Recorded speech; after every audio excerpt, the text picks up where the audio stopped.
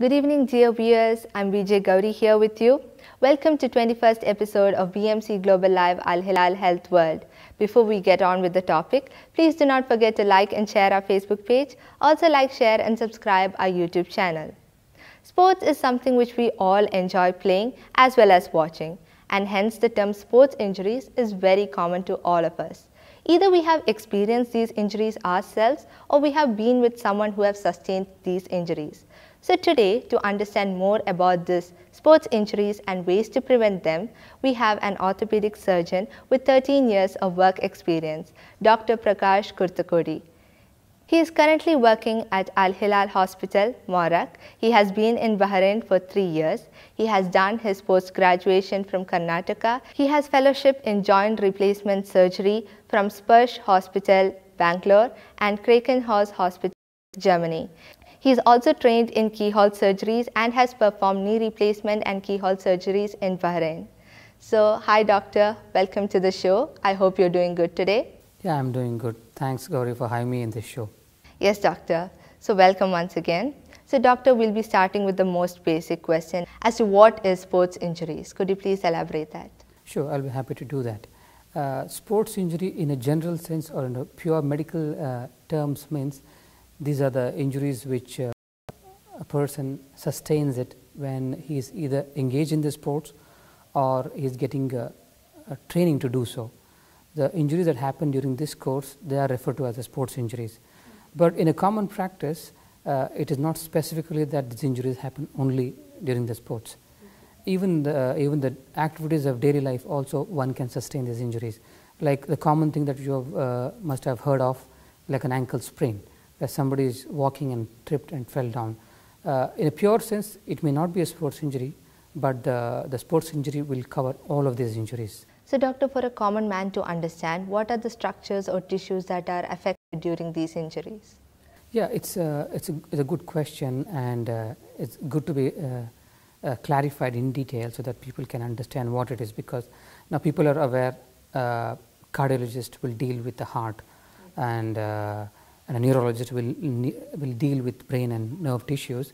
So, like that uh, a sports injury or a sports medicine will basically deal with bones, muscles, tendons and ligaments, all these structures. Uh, I would like to talk words in detail of all of these structures uh, because uh, in, uh, in, in detail they not, may not be knowing these things.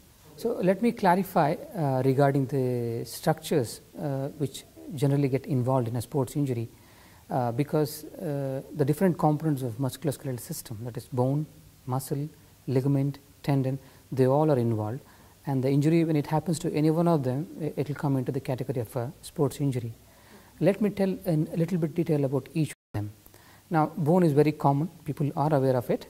Uh, how does it get injured in a sports is obviously if you are playing sports and you fall down and a fracture happens that also will include or sometimes a harsh throw from the uh, somebody is playing a cricket and they throw very harshly and there can be avulsion fractures in the shoulder where a small bone is chipped off. Even that is also a fracture. It is very typical of a sports injury.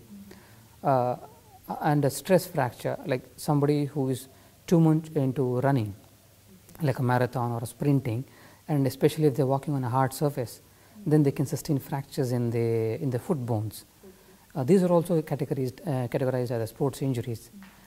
Uh, the coming to the next one, muscle. People also are quite aware of what a muscle is. Yeah. Now, uh, if somebody doesn't adequately or uh, had a sudden muscle catch, uh, these also come into the sports injuries. The third structure is a tendon. Many of us may have heard about it, but I would like to tell a few words about that. Basically what happens is all the muscles they have two attachments. One attachment is in a bulk it will attach to a bone, but as it comes down it narrows down, thins down and becomes like a rope. And this rope goes and fixed to one particular point on the bone. So when a muscle pulls, it will pull this rope and it will pull the bone and that is how the movement happen in that line. So this particular structure which transforms from the muscle and to become a rope that is called as a tendon. So, people can snap this or rupture this or tear this also uh, when they are doing the sports. So, quite commonly this, this tendon injuries are common around the shoulder. Uh, people who have sports, playing sports like tennis or even, a, even a, um, cricket, they can snap this biceps tendons. And coming to the last category that is the ligaments. So, ligaments are not like tendons. Tendons, the main thing is they have a very elastic nature, but the ligaments are not, they don't have so much of elastic nature. The main function of the ligaments is they will try to give stability for the joints. Now, uh, any joint uh, to define what a joint is basically when two bones meet and they move, they move in one particular plane. If it has to move in that particular predefined plane, uh, it can sh shake or move or go in, in either direction, but it should not happen. As by the nature of the design, it has to move in one particular plane. If it has to do that, then all the ligaments which are there, they will give the stability so that the bones will move in that plane. So, the basic function of a ligament is to give stability uh, for a joint. They are, they are present in all the joints in the body. So, if you injure that, so it also comes under the sports injury category. The common, very common one which you must have heard of is an ankle sprain. When the doctor tells about an ankle sprain, what he is trying to tell you is that the ligament which are supporting the ankle have been injured. So, this when he is telling he is referring to that particular structure in a in a broad sense of a musculoskeletal injury. Yeah, I hope I have clarified uh, the basic things which are covered in the sports injury. Okay, doctor. So yes, you had covered a lot about the structures. So what are the common type of sports injuries that a patient comes in with? Even uh, the sports injury can involve any joint or any part of the body.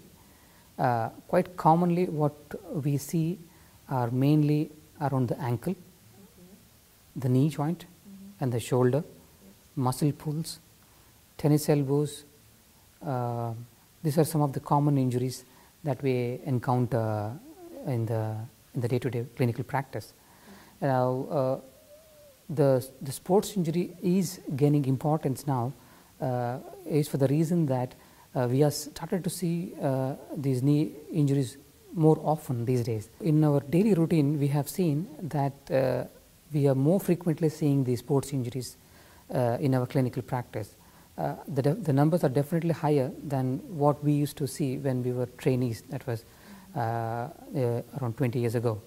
Now, the reason for this is apart from a few exceptions of the Western countries, most of the countries uh, have the younger population in a, in a, in a higher uh, percentage in a population and that will give them more mobility and they are involved more in the sports. Plus the awareness also is more towards the health. So more often people are going in for uh, walking, jogging, training, gym or treadmill.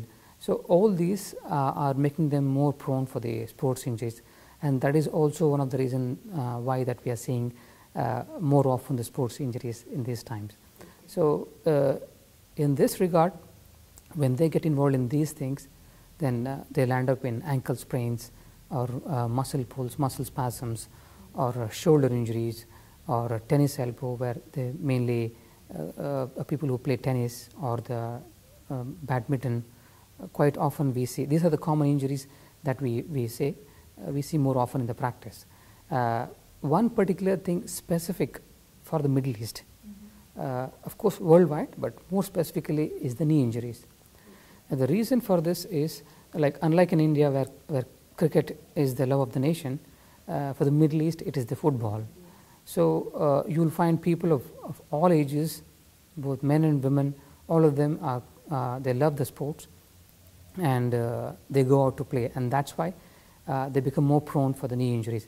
And this is, this is the reason why in, in our clinical practice here, the significant of them uh, come with a knee, knee, particular knee sports injuries. So what are the common symptoms that a patient comes in with when they have these sports injuries? The common symptoms, uh, well see the symptoms will vary uh, in, a, in a wide spectrum, uh, but specifically uh, each joint behaves a little bit differently. But commonly the symptoms that a person experiences when he is injured in a sports, it will be the first thing will be the pain of course, yeah, yeah an excruciating pain followed by swelling and uh, pain on walking and they can't move the joint, it will be very painful. Sometimes if the injury is a little bit more, then the bleeding underneath the skin will cause skin bruising. These are all the very common symptoms one can expect in a sports injury. Apart from this, there are some specific symptoms uh, which are very specific for one particular joint. For example, for the knee, uh, they may additionally have uh, symptoms like locking or instability. Okay. Yeah, these are uh, specific for one particular joint. But generally speaking, pain, swelling, bruising, limping, these are the common symptoms uh, in a sports injury. So, doctor, as you had mentioned, these days knee injuries as well as ankle sprains are very common. So, could you please tell us more about them, like as in what the patient should expect when they come to visit an orthopedic with such injuries? Yeah, uh, yeah. I would like to discuss uh, two common injuries that we see in the practice. We can't cover uh, a lot of them. So, we'll begin with uh, the most common, that is the ankle, ankle sprain. So, it's very common, we have heard people uh, and either one of us or one of us in the family very commonly would have injured the ankle. Usually what happens is uh, when a person misses his or her step and the ankle deviates in a very wrong way, then it will pull the ligament and will cause the injury. Now, uh, when, uh, when, when such a patient walks into the, the doctor's consultation room, usually what they can expect is uh, the doctor is going to ask you a few questions uh, to, to know how the injury has happened. Uh, why this is important is he's trying to understand the mechanism of how it happened. If he understands that, he can, uh, uh by the history, can get a clue of what particular structure is injured. Okay. Once uh, asking the questions, then he will be doing some examination and some test on the affected part, like the ankle, uh, to find out which particular ligament because it is not like one ligament which supports the ankle. There are a lot of them. So he will have to pinpoint uh, or try to get a broad sense of which particular ligament is injured. Once he's done that in most of the cases if required he will be uh, asking for a very basic screening investigations like an x-ray. So basically the doctor will be asking for the x-ray mainly to make sure that the bone is not injured and sometimes some special x-rays something called as a stress views. So these are the basic things that uh, once an ankle injury happens, uh, this is how it flows. So doctor, how are these ankle injuries treated? Yeah. Well, uh, the ankle injuries, there are different grades of ankle injuries depending on the severity. Now, the ankle sprain where somebody twisted the ankle and fell from a standing height, like for example, that somebody is walking and tripped and fell down the force and uh, which goes through this one is different from a person who is actually running behind a ball chasing in the in the football and he twists and he falls mm. the amount of force is very very very different and that's why the structures and the severity with which he injures in both these patients will also differ mm. and that's why the treatment also will differ so once the ankle injury is diagnosed by your orthopedic surgeon uh, he is going to grade it and see whether it is a very mild problem or a moderate problem or a severe problem. Now, fortunately, even though the ankle injuries are common, 90 percent of them will fall into either mild or moderate. Uh, why it is important is because all of these mild and moderate, they can be treated in a conservative way. What I mean by conservative way is non-operative. It does not need surgery. Only a small percentage of them which are very high grade sprains, in them they will go in for the different surgeries. The, the common uh, treatment modalities, treatment options which the doctor is going to give you in, a, in, in majority of the cases will be painkillers to reduce the pain and then he will be advising you to elevate the limb so that the, the swelling which happens because of the injury will reduce. He will be advising you to put a lot of ice that will also help in reducing the pain and the swelling and if the doctor feels that the injury is a bit more and the symptoms are a bit more severe, he may also advise you for going in for a plaster.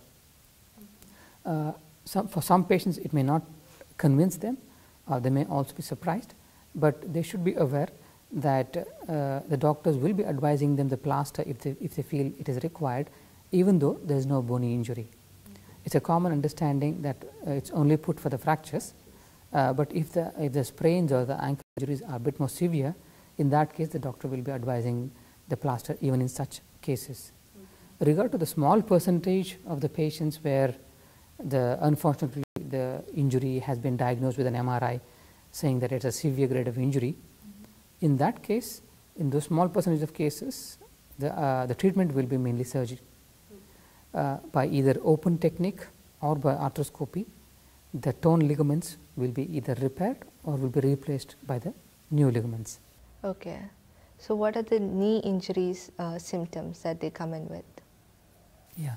Well, um, as, I, as I discussed earlier, like any other ligament injuries, even the knee ligament injuries also will come with the basic symptoms of pain, swelling and inability to walk or too much pain when they are trying to move their, the knee. These are very common ones, but there are some specific uh, additional problems that these patients also may have. One is called as a locking.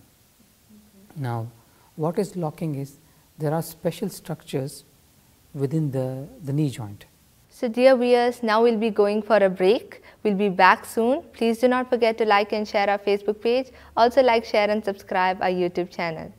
Welcome back dear viewers, you're watching BMC Global Live Al Hilal Health World. We have Dr. Prakash here with us. So now we'll be talking about knee injuries. So doctor, what are the common symptoms that they come in with for knee injuries? As I've uh, discussed earlier, uh, even these patients come with the, the common symptoms of uh, ligament injury. Yeah. Basically, it will be pain, mm -hmm. swelling, yeah. and uh, if they try to move the knee joint, it will be very painful and limping. These are very common symptoms and it happens here also. But some specific symptoms are special for the knee. One is called as a locking, another one is the instability. Now, uh, let me uh, give a brief anatomy uh, so that the viewers can understand. Now, this is the model of the knee. Now, if we look inside the knee, now, what you're looking at is the femur bone and the tibia, mm -hmm. and uh, these are the supporting ligaments from the outside. Okay. And the one you can see in the front is called as the ACL or the anterior cruciate ligament, and there's a similar ligament on the back that's called as the PCL. Okay. And the ones which are like you can see two C-shaped structures here and these are called as the meniscus. Now, if these meniscus, they basically act as a shock absorber, and if they get torn, the consistency of this is somewhat like a rubber. Once it, it gets damaged, it can get stuck between the two bones, and for uh, and they start experiencing locking. Now, what happens is these patients will not be able to make the knee straight so they have to walk on a bent knee and it will be quite painful. This is a specific symptom which suggests that there may be the injury of the meniscus. And as far as the, the ligaments are concerned, like I've already discussed, these mainly give the stability uh, for the knee when the knee is moving so that it doesn't allow to shake. Now, if these ligaments get cut, then the patient will start experiencing something called as an instability. What we mean by an instability is when they when they try to put the foot and walk, they feel that the knee is wobbly, it is shaking. This will make them lose a, a loss of confidence, especially in a normal walk. They may not have so much of difficulty, but when they are trying to walk down the stairs quickly, or they want to take a leap or a jump or a stride, or they want to run. In all these scenarios, when they land on the injured leg, they will not feel stable, they will not feel safe. They will feel that they may fall. This is an instability symptom. If that is there, then most likely that patient is experiencing with one of the ligament tears. So, doctor, yes, we understood that these are the common symptoms. And so, how is it diagnosed and how is it treated, these knee injuries? Yeah, yeah. Uh, the common protocols which I have described for the ankle injuries uh, most of them hold good here also. It starts with the doctor, he's going to go to the history try to understand the mechanism. He's going to do some special tests on the knee joint to get some clue of what part of the knee is injured and then it will again next go to the basic investigation tools of an x-ray to see if any bony injury is there. Once this is done, the, there are two options at the end of the first visit of a knee injury to the doctor. Now, if, the, if it's a very obvious injury, then the doctor may straight away advise to go ahead with an MRI investigation. Uh, it's not mandatory, but if it is very obvious, he may advise that. But uh, in most of the cases, when the patient walks in for the first time, we generally give uh, some more time for this pain and symptoms to, to get reduced. So, he's going to treat it with medications and may also call you back after two or three weeks time, again recheck and at that time also if he suspects that there is a ligament injury is there inside, then he will advise you MRI at that juncture. So, either way the MRI is the, the main diagnostic tool to confirm that there is a ligament or a meniscal injury within the knee joint. This is how a doctor is going to uh, uh, diagnose the, uh, the knee sports injuries. Coming to the treatment part, uh, compared to the ankle injuries which I told you, even though ankle injuries are common, majority of them are managed without any surgery, uh, but that is not the situation in the knee injuries.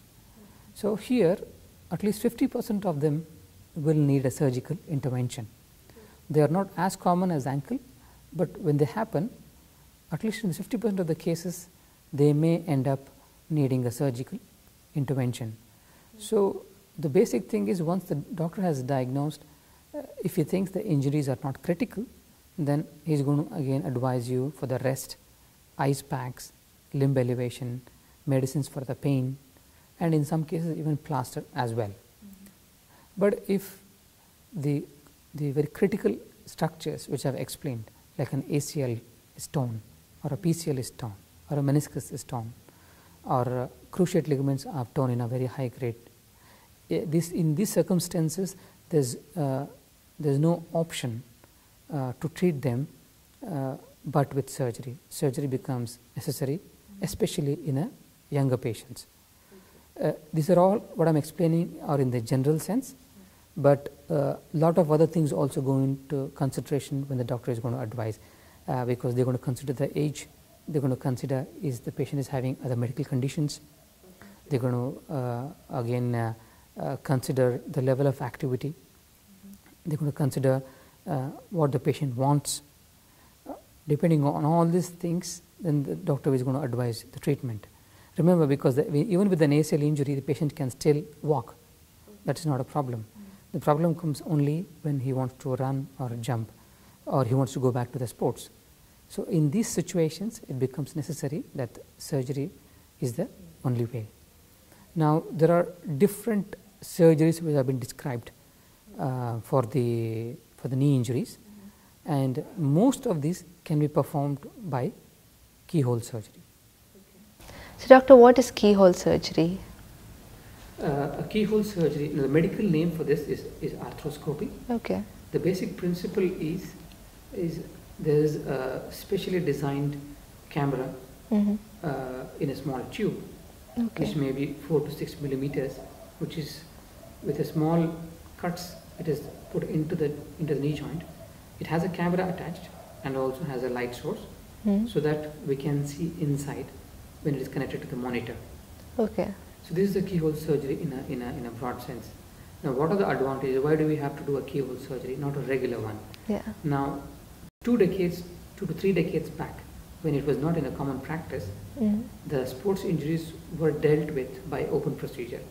Yeah. By okay. open procedure, what used to happen was they would open up the knee from top to bottom and then repair it. Yeah. Now, by doing so, the cut is very big. Yeah and the pain which comes for the patient also will be big. Oh, okay. And uh, the chances of infection are more. Chances of blood loss, how much blood loss? Definitely blood loss will be much higher in open procedure. Plus rehabilitation. how quickly they can go back to their regular life. That is also is prolonged. Now, with the advent of keyhole surgery, it has made a remarkable improvement in these things because uh, even though the procedure which we do inside is complex, from outside it is only uh, uh, an inch of, of stab incisions or small incisions, two of them. From the outside, only they are there. By doing that, the pain is much less, the swelling is much less, the stiffness in the knee joint is much less, infection chances are much lesser, blood loss is very minimal, almost to the extent of nil, and then the rehab is also much quicker so that it becomes easy for them to go back to their daily life. In fact, in many of the centers abroad uh, where they have the uh, where they have the um, issues of the insurance, most of these are done as a daycare surgery. A daycare means they come in the morning, do the surgery, and be back in home by the same night. That is the advantage of a keyhole surgery. So most of the knee surgeries, ligament injuries, meniscal injuries, osteochondral fractures, all of them can be treated, more than 90 percent of them can be treated by the keyhole surgeries. Only select few of them still need open surgeries. Okay, so doctor, when a person sustains these injuries, the sports injuries, what are the do's and don'ts of these sports injuries? Well, the first thing is they have to stay calm mm-hmm. because when they injured, the first thing uh, comes to is is really very bad happened. Yeah. That will be the first thing. So fear will aggravate the pain. Fear will always aggravate the pain because the pain and the fear are represented in the cortex. So first stay calm. Next, elevate the leg. If, you, if, if, it's going to, if it's going to take some time for you to meet the doctor, find a place or in your home or in an office, wherever it happens, or in the field, try to elevate it, keep it at a higher level so that the swelling doesn't come. And then you can put ice immediately over that part. Uh, do not massage. The massage will only increase the pain. Yeah.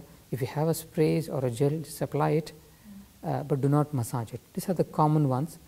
If you suspect that there is a fracture, then in that case we have to find a hard, uh, sub hard object to splint it as well. These are the common things that the, that the people can do if unfortunately they sustained uh, a sports injury.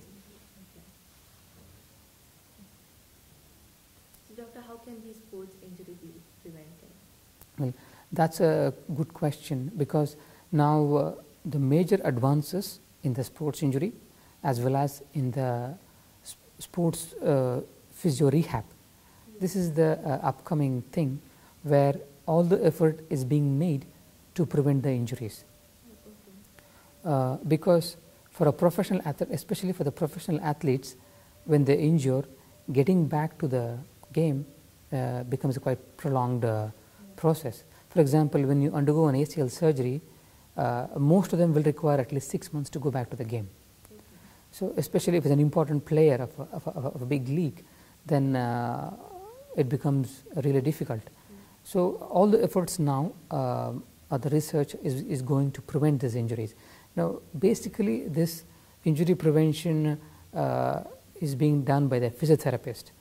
Now, I encourage uh, the, the newer physiotherapists to go on and uh, approach these programs and get trained so that they can guide uh, the professional athletes or even the sports uh, enthusiasts or even uh, people who come to the gym uh, so that uh, this field is basically what, what it does is they will train them to prevent the injuries by training the different muscles, uh, how to warm up, how to do the stretches, uh, all these common things and how to train different muscles of different joints. By doing this, there's a remarkable drop in the chances of injury happening in the first place so that we can uh, eventually avoid all the things which happen after that.